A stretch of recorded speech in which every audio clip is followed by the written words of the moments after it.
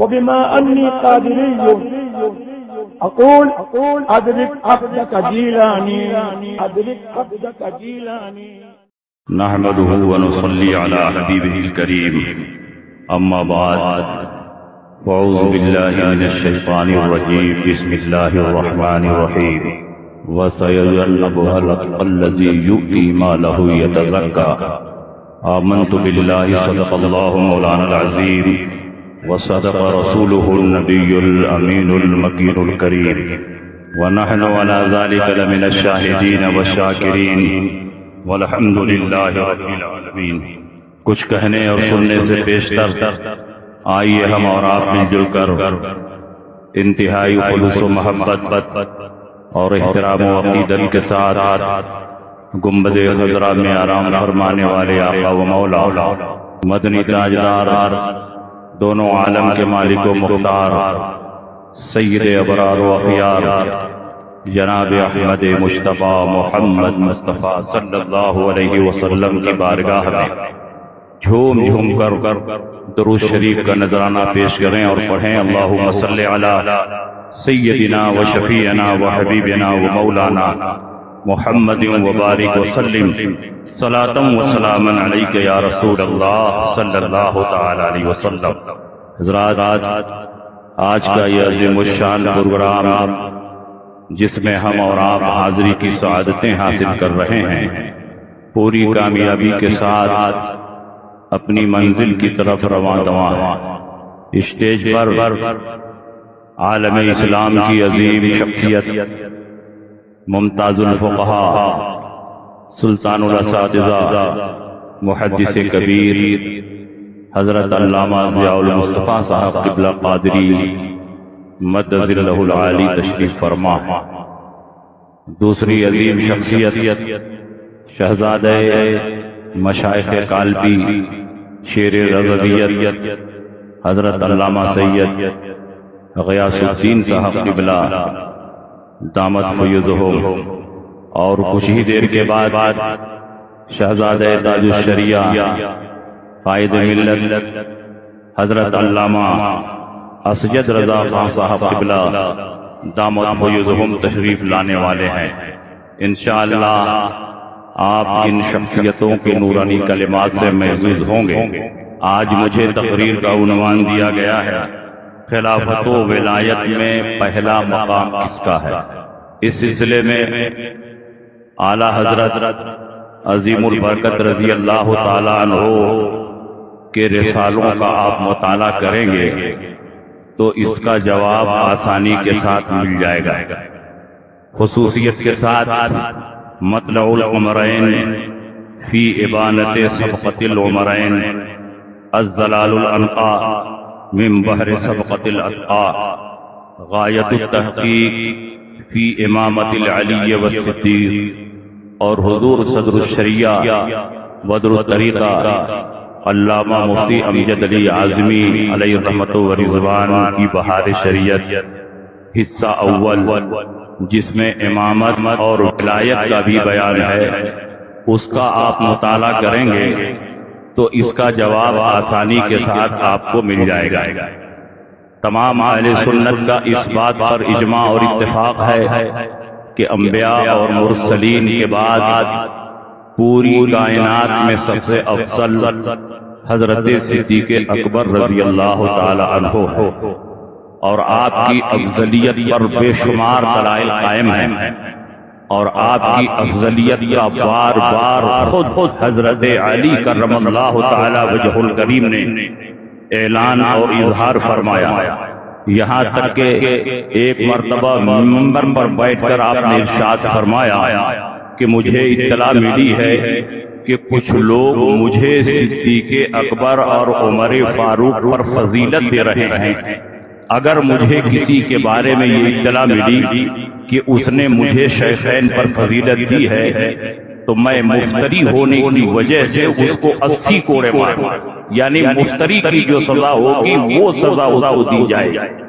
حضرت علی کرم اللہ تعالی وجہ الکریم سے صدیق اکبر کی افضلیت کے سلسلے میں جو اقوال اور ارشادات منقول ہیں، اس کو بیان کرنے والے چالیس صحابہ اور تابعین سے زیادہ۔ بخاری اور مسلم اور صحائے ستہ کی بے شمار حدیثوں میں حضرت صدیق اکبر رضی اللہ تعالیٰ عنہ کی افضلیت کا اظہار ہوتا ہے۔ نبی اکرم صلی اللہ تعالیٰ علیہ وسلم نے نام کی سراحت کے ساتھ اپنے بعد کسی کی خلافت کا اعلان اور اظہار نہیں فرمایا۔ لیکن رسول پاک سید عالم صلی اللہ علیہ وسلم کی حدیثوں میں اس بات کا واضح اشارہ موجود ہے کہ میرے بعد صدیق اکبر میرے جانشین اور نائب ہوں گے اور وہی خلیفت المسلمین ہوں گے۔ نبی اکرم صلی اللہ علیہ وسلم کی حدیثوں سے انہی اشاروں میں سے دو تین اشارے کو صرف میں آپ کے سامنے پیش کروں گا جس سے یہ واضح ہو جائے گا کہ صدیق اکبر رضی اللہ تعالیٰ عنہ تمام صحابہ میں سب سے افضل بھی ہیں اور خلافت میں بھی آپ ہی کا پہلا نمبر ہے اور ولایت میں بھی آپ ہی کا پہلا نمبر ہے۔ حضور صدر الشریعہ علیہ رحمت و رضوان نے بہار شریعت میں تحریر فرمایا ہے کہ ولایت قرب خاص کا نام ہے۔ اللہ رب العزت اپنے برگزیدہ بندوں میں سے جس کو چاہتا ہے ولایت عطا فرماتا پھر آپ نے فرمایا کہ ولایت کسبی نہیں ہے، وہ بھی ہے۔ پھر آگے آپ نے عقیدہ نمبر ایک میں لکھا کہ تمام اولیاء اولین و آخرین میں سب سے زیادہ افضل اولیاء محمدیین یعنی اس امت کے اولیاء ہیں۔ اور اس امت کے اولیاء میں سب سب سے افضل خلفاء اربعہ ہیں۔ اور خلفاء اربعہ میں معرفت اور قرب الہی کے لحاظ سے وہی ترتیب ہے جو ان کے درمیان افضلیت کی ترتیب ہے۔ سب سے افضل ابو بکر ہے تو ولایت میں بھی پہلا مقام ابو بکر کا ہے۔ دوسرے نمبر پر عمر ہے تو ولایت مقام حضرت عمر کا ہے، تیسرے نمبر پر عثمان غنی ہے، تو ولایت میں تیسرا مقام حضرت عثمان غنی کا ہے۔ اور افضلیت کے چوتھے نمبر پر حضرت علی شیر خدا ہے، تو ولایت میں بھی آپ کا مقام چوتھا یہ حضرت صدر الشریعہ علیہ رحمت و رضوان نے بہار شریعت میں لکھا۔ اور پھر آگے تحریر فرمایا آیا کہ پھر پھر مرتبہ تکمیل پر رسول اللہ صلی اللہ علیہ وسلم نے حضرات شیخین کو جانب کمالات نبوت قائم فرمایا اور حضرت علی مشکل کشا کو جانب کمالات ولایت قائم فرمایا تو اب اولیاء ماں باپ کو یہ نعمت حضرت علی کے گھر سے ملے گی اور ولایت میں وہ حضرت علی کے ہمیشہ محتاج رہیں گے۔ اس کا مطلب یہ ہوا کہ اولیاء ماں باپ کو ولایت حضرت علی سے مل رہی ہے اور وہ ولایت میں حضرت علی کے محتاج ہے اور قیامت تک اولیاء کرام محتاج رہیں گے۔ لیکن اولیاء ماں قبل جس میں حضرت صدیق اکبر ہیں، حضرت عمر بن خطاب ہیں، حضرت عثمان غنی ہیں، یہ ولایت میں حضرت علی کے محتاج نہیں ہیں ان کو ولایت ڈائریکٹ رسول پاک کی بارگاہ سے ملی ہے۔ اور ان کا سلسلہ ڈائریکٹ رسول پاک سے جڑتا ہے۔ اور حضرت علی کے بعد جتنے اولیاء کرام پیدا ہوئے اور قیامت تک پیدا ہوں گے، ان کا سلسلہ حضرت علی کے واسطے سے رسول پاک سے متصل ماشاءاللہ، سبحان اللہ۔ یہ حضرت صدر الشریعہ علیہ رحمت و رضوان نے تحریر فرمایا۔ تو یہ کہنا صحیح ہے کہ سارے اولیاء کرام کے سردار حضرت علی کرم اللہ تعالی وجہ الکریم اور سارے اولیاء کا سارے سلسلوں کا اتصال حضرت علی کے واسطے سے رسول پاک سے ہو رہا ہے۔ اس کا مطلب یہ ہوا کہ اولیاء ماں باپ کا اتصال بغیر علی کے رسول پاک سے نہیں ہو سکتا۔ اور اولیاء ماں باپ کو ولایت اور یہ نعمت حضرت علی کے گھر سے ملے گی۔ علی کو چھوڑ کر ان کو ولایت نہیں مل سکتی ہے اور یہ نعمت نہیں مل سکتی تو اولیاء ماں بعد کے لیے ہے اور اولیاء ماں قبل میں تین نام گزرا۔ حضرت صدیق اکبر حضرت عمر اور حضرت عثمان غنی تو ان کو ولایت حضرت علی سے نہیں ملی۔ وہاں سے ملی ہے جہاں سے حضرت علی کو ملی۔ اور ان کا سلسلہ ڈائریکٹ رسول پاک سے متصل ہے ملتا ہے۔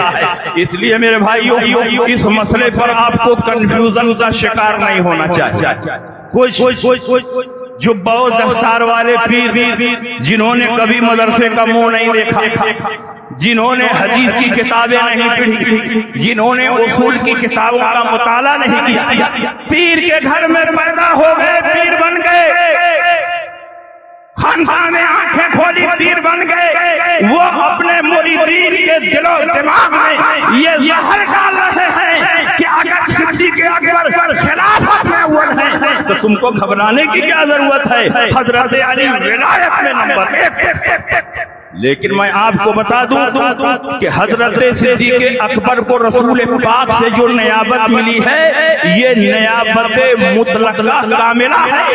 اور حضرت صدیق اکبر رضی اللہ تعالیٰ عنہ چونکہ رسول پاک کے نائب ہیں، جانشین ہیں، اور رسول پاک جمیع کمالات کا مظہر بن کر اس دنیا میں آئے، تو جو ان کا نائب اور خلیفہ ہوگا وہ بھی بے شمار کمالات کا جامع ہوگا اور لوگوں کے درمیان کسی حیثیت سے تشریف لے اور اس سلسلے میں اعلیٰ حضرت مجدد دین و ملت فاضل بریلی سے سوال ہوا۔ فتاوہ رضویہ کا فتاوہ رضویہ کی بارہویں جلد ہے اور صفحہ گیارہ آپ اس کو کھول کر پڑھیں سوال بھی موجود ہے جواب بھی موجود ہے۔ اور سرکار اعلیٰ حضرت نے اتنا کلیئر جواب دیا ہے کہ کسی اشتباہ کی کوئی گنجائش ہی نہیں ہے۔ پوچھنے والے نے اعلیٰ حضرت سے پوچھا کہ تمام اولیاء کرام میں سب سے افضل کون ہے؟ تو اعلیٰ حضرت امام محمد رضا فرماتے ہیں کہ تمام اولیاء کرام میں سب سے افضل حضرت صدیق اکبر۔ اور ایک اور پیر صاحب ہیں۔ بڑی مشہور خانقاہ سے تعلق۔ انہوں نے یوں شگوفہ چھوڑا کہ صدیق اکبر خلافت میں نمبر ایک پر ہے اور حضرت علی امامت میں نمبر ایک پر ہے بہار شریعت پڑھ لیا ہوتا تو امامت کا مطلب بھی سمجھ میں آ جاتا۔ بہار شریعت یہ ہے امامت کی دو قسمیں ہیں۔ امامت صغرا اور یہ نماز کی امامت۔ اور ایک ہے امامت کبرا۔ یہ رسول پاک کی جانشینی اور نیابت ہے۔ تو نماز کی امامت میں بھی صدیق اکبر سب سے آگے ہے۔ کیونکہ رسول پاک نے مرض الموت میں کسی اور صحابی کو اپنے مسئلے پر کھڑا نہیں کیا، بلکہ صدیق اکبر کو کھڑا کیا۔ اور عائشہ صدیقہ منع کر کے رہی کسی اور کو بھیج دے، کیونکہ صدیق اکبر نرم دل ہے رقیق القلب ہے۔ آپ کی جگہ پر کھڑے ہوں گے تو نماز نہیں پڑھائیں گے۔ یا رسول اللہ، ان ابا بکر رجل رقیق اذا قام مقامك لا يستطيع ان يصلي بالناس. ابو بکر نرم دل ہے رقیق القلب ہے آپ کی جگہ پر کھڑے ہوں گے تو صحابہ کی نماز نہیں پڑھائیں گے، کسی اور کو بھیج دے۔ رسول پاک نے فرمایا مری ابا بکر فلیصلی بالناس۔ ابو بکر کو حکم دو لوگوں کی نماز پڑھائیں۔ پھر حضرت عائشہ نے وہی جملہ ریپیٹ کیا۔ رسول پاک نے فرمایا، ابو بکر کو حکم دو لوگوں کی نماز پڑھائیں۔ حضرت عائشہ نے وہی جملہ ریپیٹ کیا۔ سرکار سرکار نے چوتھی مرتبہ میں پر جلال لہجے میں فرمایا، مری ابا بکر صلی اللہ بننا فإن كنا لصواحب یوسف۔ ابو بکر کو حکم دو لوگوں کی نماز پڑھائیں۔ تم لوگ یوسف علیہ السلام کی سہیلیوں میں سے معلوم ہوتی ہو کہ اپنی بات پر کھڑی ہوئی ہو۔ میں آپ سے پوچھنا چاہتا ہوں، مسئلہ صرف نماز پڑھانے کا نہیں کہ امام صاحب نہیں ہے تو نائب کو بھیج دیا جائے۔ نائب نہیں ہے تو مؤذن کو بھیج دیا جائے۔ رسول پاک آج پوری دنیا کے مسلمانوں کو یہ میسج اور پیغام دے رہے ہیں کہ آج مسئلہ صرف نماز پڑھانے کا نہیں، مسئلہ یہ ہے کہ آج میری زندگی میں میرے مسئلے پر کھڑا ہوتا ہے، جو صحابہ کی امانت کرے گا، میرے پاس وہی ملت اسلامیہ کا خلیفہ تو سرکار نے آپ کی خلافت کی طرف اشارہ فرمایا۔ اور سنیے، اگر صرف حضرت علی کے اقوال پیش کریں تو اتنے زیادہ ہیں کہ کئی گھنٹوں پر تقریر محیط ہو جائے گی۔ بخاری اور مسلم میں یہ حدیث ہے، رسول پاک سید عالم صلی اللہ علیہ وسلم کی بارگاہ میں ایک شخص اونٹ بیچنے کے لیے گیا۔ رسول پاک نے سارے اونٹ خرید لیے لیکن دام نہیں دیا ادھار خریدا۔ اونٹ بیچنے والے اونٹ بیچ کر جا رہے تھے راستے میں حضرت علی مل گئے۔ علی نے کہا کہاں سے آ رہے ہو؟ کہا کہ حضور کی خدمت میں اونٹ بیچنے کے لیے گیا تھا سارے اونٹ بک گئے۔ کہا حضور نے پیسہ دیا؟ کہا نہیں حضور نے ادھار خریدا۔ علی نے فرمایا کہ جاؤ اور حضور سے پوچھو کہ اگر آپ کو کوئی حادثہ پیش آ جائے تو یہ قیمت کون ادا کرے کرے وہ شخص حاضر ہوئے رسول پاک سے پوچھا تو سرکار نے فرمایا اگر مجھے کوئی حادثہ پیش آ جائے تو میرے بعد ابو بکر اس کی قیمت ادا کریں گے۔ وہ شخص حضرت علی کی خدمت میں پہنچا۔ کہا ابو بکر ادا کریں گے۔ کہا پھر رسول کی خدمت میں جاؤ اور کہو ابو بکر کو کچھ ہو گیا تو اس کے بعد کون قیمت ادا کرے گا؟ وہ شخص نبی کی خدمت میں حاضر ہوا پوچھا یا رسول اللہ اگر ابو بکر کو کچھ ہو جائے تو کون قیمت ادا کرے گا، تو سرکار نے فرمایا کہ اگر ابو بکر کو کچھ ہو جائے تو عمر قیمت ادا کریں گے۔ وہ شخص پھر واپس آیا۔ حضرت علی سے بتایا، تو علی نے کہا، پھر جاؤ اور رسول پاک سے پوچھو کہ اگر عمر کو کچھ ہو گیا تو کون قیمت ادا کرے گا۔ اس نے کہا، یا رسول اللہ، اگر عمر کو کچھ ہو گیا تو کون قیمت ادا کرے گا؟ سرکار نے جلال کے عالم میں فرمایا من ماتا عمر فإن استطاعتا ان تموتا فمت اگر عمر ہی مر جائیں تو مر جانا، تم جی کر کے کیا کرو گے؟ میں بتانا یہ چاہتا ہوں کہ رسول پاک سید عالم صلی اللہ علیہ وسلم نے اپنے باپ کی ذمہ داریاں ابو بکر پہ ڈالی، اس کے بعد کی ذمہ داری عمر پہ ڈالی۔ اس میں ساتھ اشارہ ہے کہ نبی کے بعد پہلا خلیفہ ابو بکر ہوں گے، دوسرا خلیفہ عمر۔ جی،, جی اور سنیے، ایک خاتون نبی کی خدمت میں مسئلہ پوچھنے کے لیے گئے۔ سہائی ستہ کی یہ حدیث۔ پوچھا، رسول پاک نے مسئلہ بتا دیا۔ جب جانے لگی لگی لگی تو سرکار نے فرمایا، پھر آنا۔ اس نے کہا، پھر آؤں، آپ کو نہ پاؤں تو کس کے پاس جاؤں؟ سرکار نے فرمایا کہ ابو بکر کے پاس چلی جا۔ اس روایت میں صرف اتنا ہی ہے، لیکن ایک روایت، ایک مرد سے متعلق بھی ہے کہ وہ شخص حضور کی خدمت میں حاضر ہوئے اور مسئلہ پوچھا، سرکار نے مسئلہ بتا دیا۔ تو انہوں نے پوچھا، یار رسول اللہ پھر آؤں آپ کو نہ پاؤں تو کس کے پاس جاؤں؟ سرکار نے فرمایا کہ ابو بکر کے پاس چلے جانا۔ انہوں نے کہا اگر ابو بکر کو نہ پاؤں تو کس کے پاس جاؤں؟ تو سرکار نے فرمایا عمر کے پاس چلے جانا۔ انہوں نے کہا عمر کو بھی نہ پاؤں تو کس کے پاس جاؤں؟ سرکار نے فرمایا کہ عثمان کے پاس چلے جانا۔ اس میں اس بات کا اشارہ ہے کہ جو ذمہ داریاں میں ادا کر رہا ہوں میرے بعد وہ ساری ذمہ داریاں ابو بکر ادا کریں گے۔ ان کے بعد عمر ادا کریں گے۔ گے، ان کے بعد عثمانی غنی ادا کریں گے۔ یہ اس بات کی دلیل ہے کہ سرکار کے بعد خلیفہ بلا فصل علی نہیں ہے، بلکہ صدیق اکبر۔ اس سلسلے میں اگر ہم روایتیں پیش کریں، اتنی روایتیں ہیں میرے دماغ میں کئی گھنٹے کی تقریر ہو جائے۔ اگر آپ اجازت دیں تو صرف ایک حدیث، اور وہ حدیث اس لیے میں پیش کرنا چاہتا ہوں کہ اس حدیث کے جتنے راوی ہیں یہ سب کے سب حضور غیاس ملت کے اجداد کرام اس حدیث کے جتنے راوی ہیں سب اہل بیت ہیں ائمہ کرام ہیں۔ حضرت امام جعفر صادق فرماتے ہیں کہ مجھ سے میرے والد امام باقر نے فرمایا۔ امام باقر فرماتے ہیں کہ مجھ سے میرے والد امام زین العابدین نے فرمایا۔